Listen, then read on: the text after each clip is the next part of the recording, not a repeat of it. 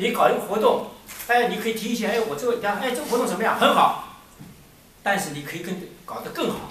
为什么搞得更好？比如你可以在礼品方，哎，你还会出主意，哎，将来的下次活动你找我一起策划，我可以帮你忙。如果我不行，我会找我们中国人里面有很多有这，那下次呢就找我了，那我就学他们啊，什么事情你不要你看，哎呀，我又不是大学生，我又不是专家，我又不是没有关系，你要有这个激情。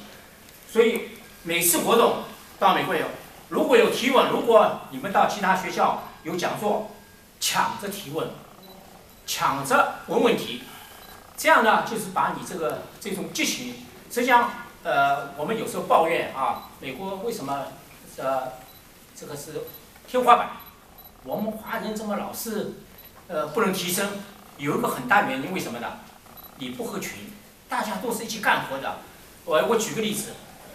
有一个，有一个，呃，华人那个非常，他在那个办公室非常慢，一个人顶五个人，结果裁员要裁掉一半，那个上面就跟他讲，他说对不起，裁员，他说为什么裁我？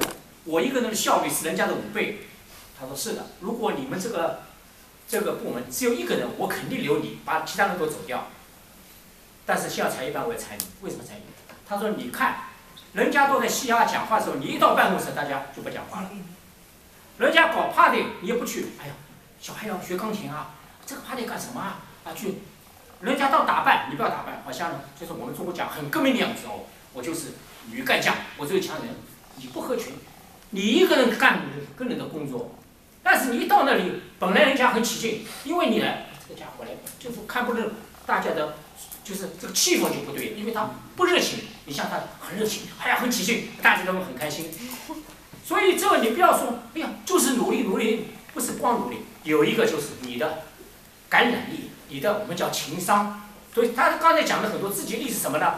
就是你在世界上这个范围里面，我们特别我们说网络经济思呃思维也好，呃团队思维也好，你一定要冲得出来。我们的学生，而且国际学校你应该比普通学校更。有这个，我看你们这个呃呃呃毕业典礼啊，这些都很已经这活动搞得好，我觉得要冲出来，带头提问，你越是有差异，你越不够，你越是冲出来，你越能弥补的不够，你越是缩在后面，你人家说你没有长进。就是大学，美国好的大学，它不是培养书呆子的，它不是培养考高分的人，他是要培养你一将来能够做领袖人物的能够带领大家这样的人那么这些人很要紧就是他能够有激情他能够有情商。然后还举个例子美国有